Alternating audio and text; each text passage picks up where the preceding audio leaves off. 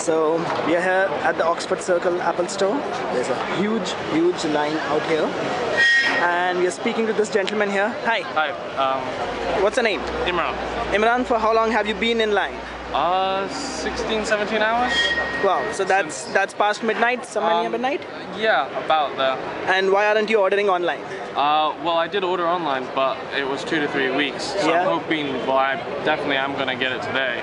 Okay. Uh, so I'm going to cancel the online order if I can. Okay. And uh, what do you have here? I've got uh, two tickets, uh, both of them 64 gigabyte Wi-Fi 3G. Uh, one's white and one's black. Okay. Wait, Imran. Thank you.